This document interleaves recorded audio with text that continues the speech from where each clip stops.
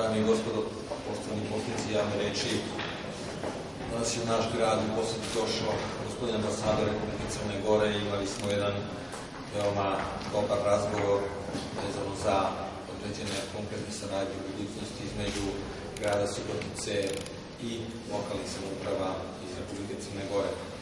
To nam je drago da je u okviru ovih posjeta na severu Vojvodine gospodin ambasador našao vremena posjeti Suboticu i da se konkretno upoznamo sa nekim pitanjima koji su, koje Republika Crna Gora smatra su bitna, a s druge strane da neki način pogledamo i našu moguću saradnju vezano za e, pružanje određene podrške udruženjima crnogoraca i e, pripadnicima crnogorskog naroda. U tom smislu mislim da smo imali ovaj veoma dobar razgovor sa konkretnim stvarima, a sa druge strane o nekih stvari smo se dogovorili i na neki način naša obaveza je da to u budućnosti ispustimo. Sad bi trebao reći gospodin sad. Dobar dan svima.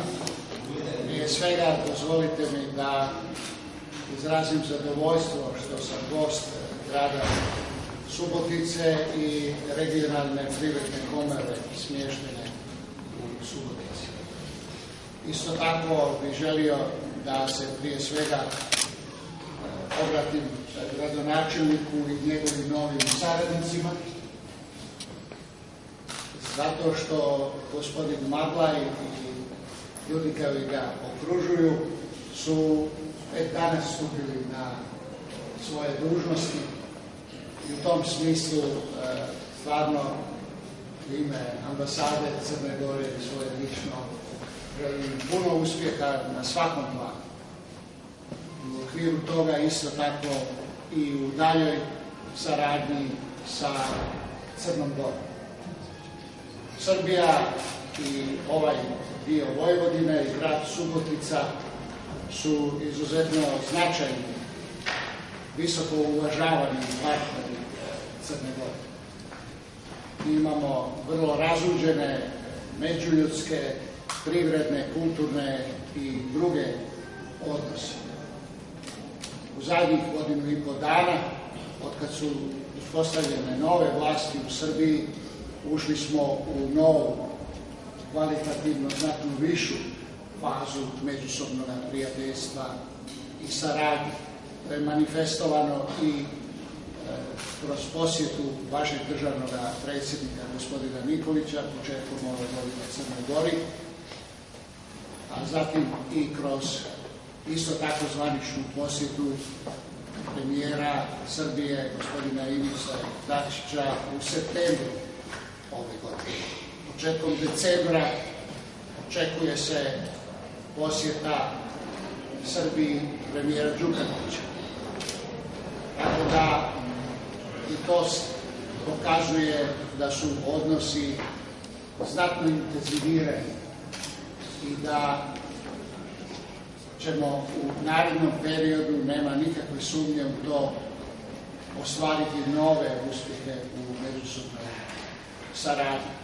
Između ostaloga, intenzivno se djeluje sa obe strane i to vrlo sinkronizovano da se još više razvije saobraćajna, putna i željeznička infrastruktura između dvije zemlje, da se isto tako vazdušni saobraćaj učini jeftinijim i efikasnijim i to će stvoriti bitno nove uslove za veće zbližavanje između Crne Gore i Srbije, za bolju i češću komunikaciju među građanima i za obimniju i raznolikiju saradnju među privredama, kulturnim, naučnim i drugim institucijama. Prostor koji nas na neki način razdvaja svojim geofizičkim karakteristikama, visokim planinama i tako dalje, postaće sam po sebi e, mjesto za efikasnije i brže spajanje. I mislim da e, to na obostranu području će se dešavati i da će pomoći ne samo da se podiže životni standard naših ljudi, nego da se obje zemlje, dakle i Crna Gora i Srbija, brže i više otvaraju prema okruženju i da se na mnogo efikasniji način integrišu u evropske institucije, u Evropsku uniju na, na prvom e, mjestu. Zadnja dva dana obilazeći e, opštinu Subotica i okolne opštine, jedan dobar dio opština koje su, da tako kažem, pod jurisdikcijom regionalne privredne komore u Subotici.